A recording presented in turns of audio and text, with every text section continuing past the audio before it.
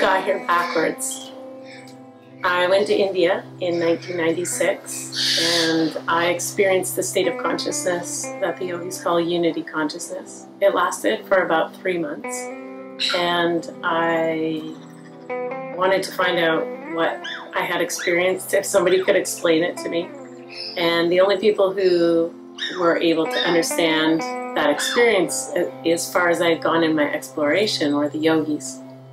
So I began to uh, study yogic knowledge, which is really Vedic knowledge, um, for about 13 years, quite intensively, in a sort of all-consuming way. Um, I, I experienced um, sort of ashramic life um, and the kind of guru-style lineage of providing selfless service, devoting myself to the knowledge. And as well, I was integrating the knowledge into daily life. So instead of experiencing it in a solitary, monk-like um, tradition, I was experiencing it as a householder. So a tradition in which I am still in the world, I was still working, I was still um, relating to my family and friends. So it was a unique experience. For me, lineage is there to try to maintain the purity of the knowledge. When you have a subjective science like yoga, it's easy for people's personal way of thinking about it, perspective, depending on where they are in their evolution and in their consciousness, knowledge is different in different states of consciousness. So lineage is there to maintain that level of consciousness from which the knowledge is, is most subtle, is most effective.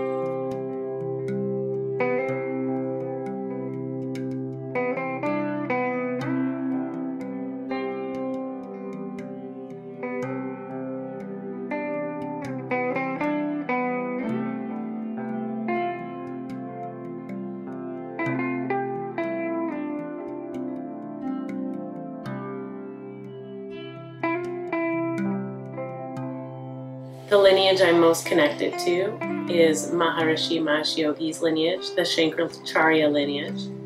His teacher was Guru Dev Brahmananda Saraswati. Everything that I do has its foundation in that lineage base and in that understanding. What I found is that all other lineages that I have studied sit holistically within that lineage. That lineage I found contained a wholeness in which many, many other spiritual paths can sit comfortably. How does yoga shape Vancouver?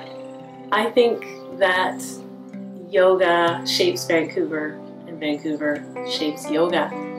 I think the environment of Vancouver with mountains and ocean lends itself very well and complements a nature-based practice like yoga. Yoga is an indigenous form of knowledge. And so when you're connected with nature, when you're attuned with nature, you you are in that space of alignment. You are in that place of yoga.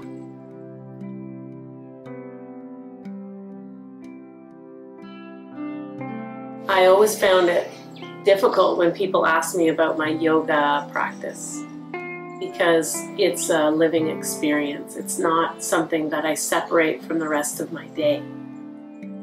If I was to talk to you about my yoga practice, it changes and it has changed over time. For the first long period of my life, with my connection to yoga, that was an experience of samadhi. And much of that was sitting in silence, appreciating nature, noticing the discernments in my mind. My yoga practice is ongoing every day. It's a practice of awareness. It's doing the dishes and loving that. It's how I treat others. It's how I handle my challenges and difficulties And when I feel some injustice has been done to me, trying to understand where that other person is coming from. And that has led me down many paths into psychotherapy, certificate, into Masters of Education.